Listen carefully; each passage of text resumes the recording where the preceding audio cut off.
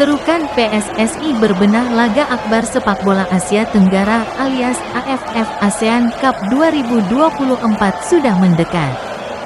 Turnamen bergengsi Asia Tenggara yang jadi barometer kekuatan sepak bola di kawasan ini.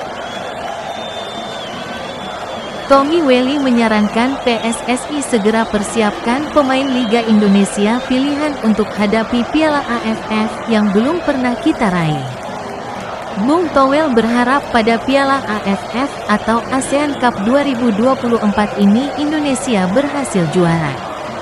Kasihan supporter kita selalu kena bully oleh negara tetangga karena belum juga merasakan gelar juara sejak dari pertama kali diadakan tahun 1996. Jika Tayong takut hadapi AFF senior, PSSI bisa tunjuk Fahri Husaini atau Indra Syafri untuk bawa timnas ujar Bung Towel. Bagaimana menurut kalian?